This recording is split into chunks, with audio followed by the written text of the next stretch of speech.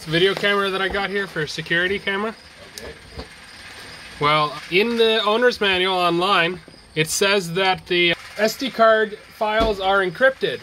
And don't even bother trying to put the SD card in your computer that you have to use the app to access them. Which I thought, okay, yeah, that, that so makes that sense. makes it useless to you. Well, no, that's a security feature. Okay. So that if somebody steals your camera, Oh, they can't access it. They can't access- It's your specific MAC address or something. well, yeah, you're supposed to log in with the app with uh, authentication. It builds an encryption channel between the uh, the camera and your far phone. off from a MAC address. Yeah, yeah. So basically, it's made so that you you're supposed to be the only one able to access it, and if somebody takes your camera, they can't view all your footage. Like, say, if it's in your bedroom or you're in your living room or something, you know, and there's sensitive stuff.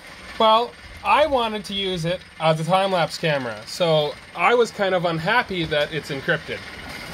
So I thought, well, let me see what can I do to maybe hack into this thing and figure out how the encryption works. So I opened up the so I, I went into the thing and it's all of the folders are listed by date and by time and everything like that and there's a whole bunch of like dot data files so i opened them up in the notepad and trying to figure out if i could figure out what kind of a header it has what kind of encryption it is. I opened up in 7 zips. I tried running it through the video editor program the command line thing here. Mm-hmm. And what do i find out?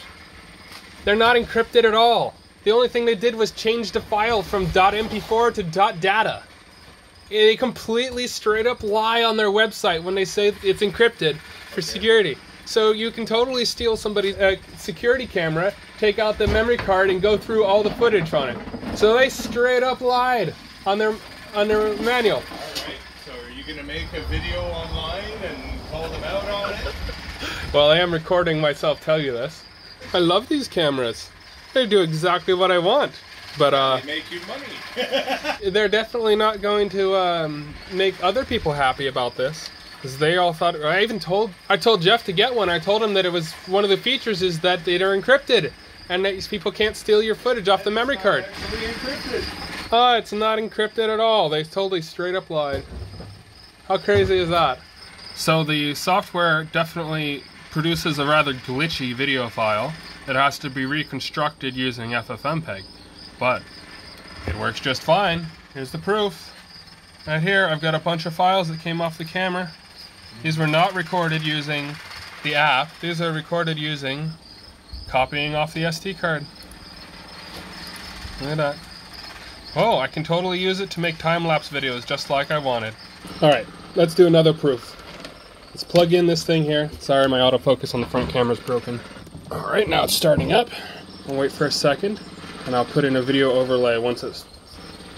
For some reason, the autofocus is broken on my phone. Oh, there we go. It's starting up. It's connecting to the Wi-Fi right now. You can see that. It doesn't record audio when you're not connected with the app.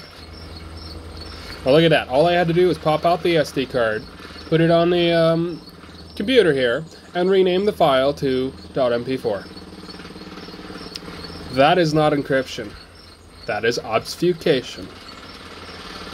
Get your words correct there, Geeni. Merkury. Merkury Innovations. Whatever your company name is. I'm personally super happy about this. I wanted to be able to access it. I didn't want it to be encrypted. But I'm sure there's quite a few people who are going to be all like, oh my goodness, they told us it was encrypted. I thought it was safe. I thought somebody. Like, what if this camera's in your bedroom?